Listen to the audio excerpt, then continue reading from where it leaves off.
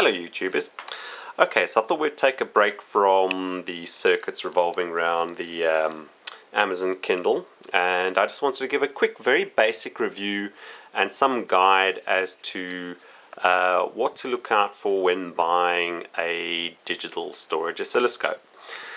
Um, I, as you'll previously remember, I had a Hantek uh, DSO 1200. It was a handheld um, oscilloscope, which I used. You could use as a multimeter or as an oscilloscope. And I use that for a little bit of my work, but I now have this, uh, what one would call Xytron uh, DSO 1042 uh, CML, which is something, it's um, something you can buy locally here in South Africa. I bet if you go and search on the internet, you won't find it anywhere else and it is it is probably just a cheap Chinese branded oscilloscope. So again, I'm I'm certainly no expert uh, in electronics, or indeed I I don't make a big use out of using oscilloscopes. I've got some very basic requirements why as to why I want an oscilloscope, but I'll I will hopefully do a second follow-up to this where I go into more in-depth features and details on the oscilloscope, but I just want to give some some basic information and things to look out for and uh, and explain why I changed from the handheld oscilloscope to this one. Now, for most of my work, and the reason I've got this wave on here at the moment, this is showing basically the capacitors charging on a, a test circuit for the solar powered Kindle. So when you see the next iteration of the solar powered Kindle circuit, I've gone back to basics.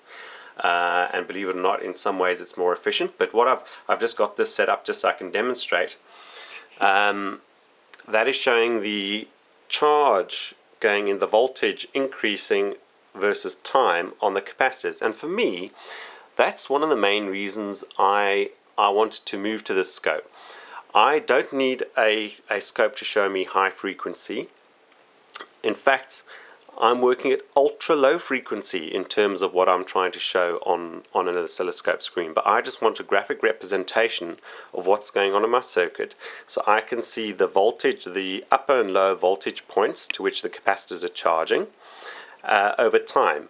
And obviously the time scale I've got set to, um, if we zoom in and have a closer look, I've actually got it set to 50 seconds per division. So basically each square here across the x-axis represents 50 seconds. So that means I can fit in a fair a fair bit of the slow frequency wave which I'm getting across the charge and discharge of the capacitors I can get into a screen. Now so the thing I, I when I first went and bought the Hantek scope I thought it'd be really fun and, and handy to have something that was portable um, and sure it was useful uh, for the little the bit of work I, I started off with but at the end of the day I didn't need a portable scope. And having the portable scope only had push buttons on it which is very frustrating when you want to change your your time per division or your volts per division. Um, so that's why I moved I did a trade with someone. I gave them my portable scope. I got this scope and here you've got the knobs where you can make those adjustments. So that was the main reason for me wanting to change. Um, it's far easier to make the changes with knobs than it is to to do it with uh, pushing buttons the whole time. And that's and these scopes aren't that that big. In fact they're quite light and they have a carry handle. So they're, they're portable in themselves if you do want to go and use it somewhere else. It doesn't have a battery in it so you do need mains supply for it but in essence I'm using it on the bench all the time so that's no big problem at all. The other point big selling point for me and the interesting thing was when I was looking for to change my oscilloscope I was looking at the Rigol uh, 1050E which is a 50 megahertz scope. It's um, uh, high on the recommendation list if you're just starting out looking for a bench scope. It's got very good features and performance for its its price I tried to order one from the, from the States off Amazon and um, my order was cancelled because again uh, protection of the South African market I guess. They don't want to send it here because it it's would be a lot cheaper than you could buy a scope locally. Um, so I ended up with this one and actually that wasn't a bad thing because The both the Hantek and the Rigol have got uh, 5.7 inch displays. They're basically square. And for me, the one thing, as I said, which because I'm I'm in essence of for the work I'm doing at the moment, I've got very low frequency uh, waves that I'm working with. My time base is more important. I actually want where most people are looking at digital signals which require a very small time base, I in the milli microsecond range per division. I'm sitting on 50 uh, seconds per division and I've got a wide screen. So that means I've got far more divisions on my x-axis because this is a 7-inch screen. So I can actually fit far more into the display. Um, I'm actually just going to switch off my power supply or else we're going to have uh, two motors going, which is going to be rather annoying. Um, so that's why this has worked for me. Um, in terms of looking for scopes, this one is a 40 megahertz scope. My uh, Hantek was a 200 megahertz, but I certainly say I'm not working with uh, digital electronics up in that range at the moment, certainly. And I think basically between 40 and 60 is a good start range for, for most people. Uh, the Rigol uh, 1050 is a 50 megahertz. This happens to be 40. The other important thing to look at is the sample rate.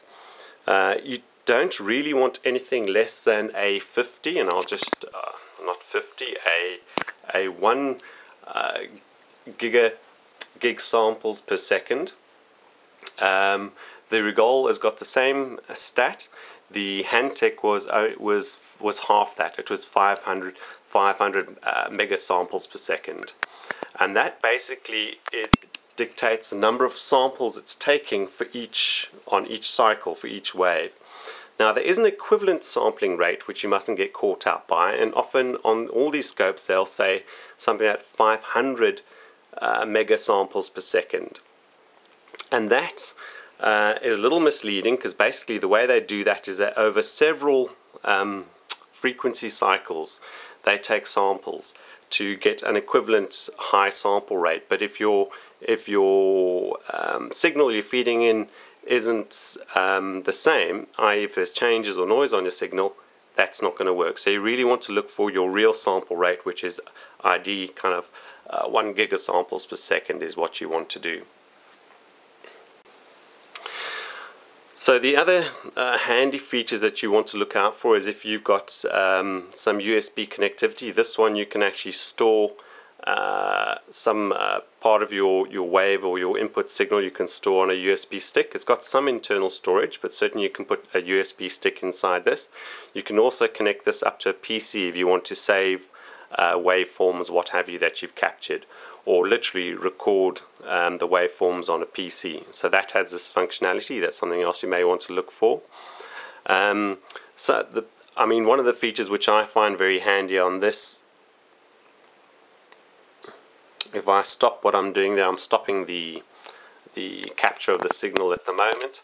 And if I want to work out the, like for instance, how long it's taking to charge uh, the capacitors and then the, the discharge time, I can simply just pull up a cursor and this is one of the quirky things which uh, you kind of need to look out for. This something like a Rigol, Rigol 1050 will have lots of soft firmware updates which come out. I'm not sure that this Xytron is going to be well supported in that area and the menu system on this can be actually quite quirky. Um, if you see you've got this I'll zoom out a bit so you can have a look at what I'm doing.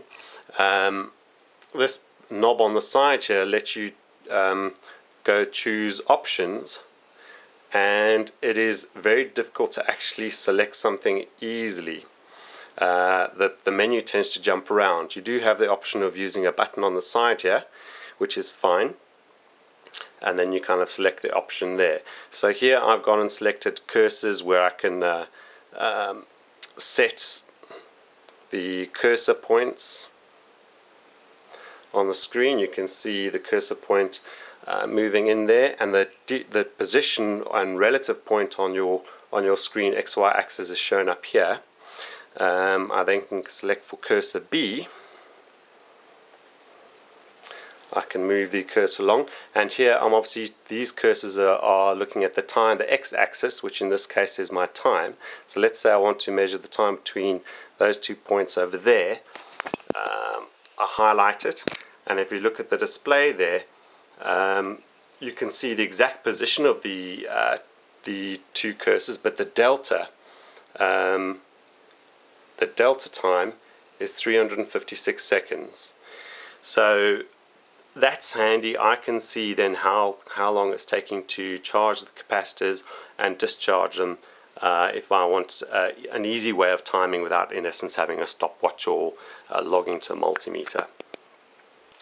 So that is a quick basic rundown um, of this oscilloscope and some basic things to look out for. They of course have loads of other features and functionality that you can change. Obviously um, if I set this to run again take the menu system off the screen. You can set your your um, volts per division on each of your channels. This is a two channel scope. You can set your volts per division.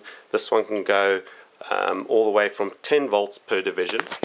And I'll just show you you can see down here in, in, the corner is my channel 1 I've got it set to 10 volts per division and uh, 50 seconds.